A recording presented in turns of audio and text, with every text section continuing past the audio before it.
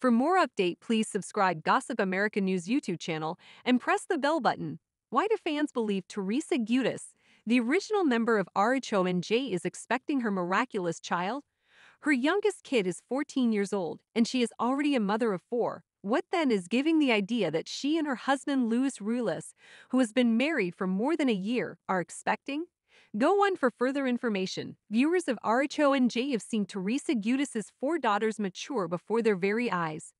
Gia, her oldest daughter, recently received her college degree, while her youngest is experimenting with controversial attire.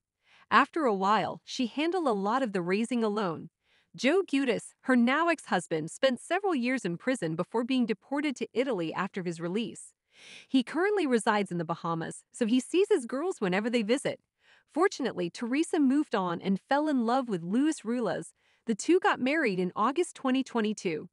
He has his own children as well, but now rumors are starting to fly that the couple has a bun in the oven.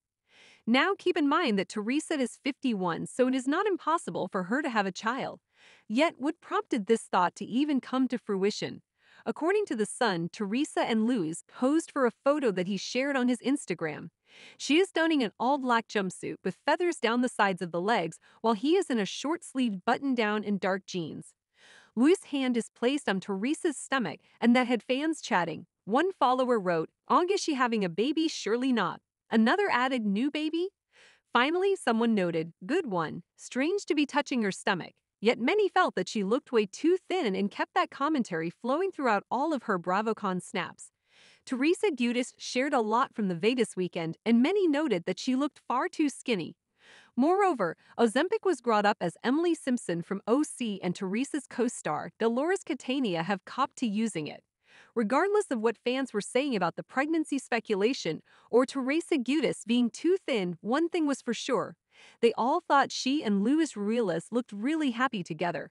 When a kiss makes you smile, during the kiss hashtag couple goals, one wrote, This upcoming season of RHONJ has not been that easy, but it seems they have made it through and are proving people wrong. Thanks for watching this video and please subscribe our Gossip America News YouTube channel for more update news.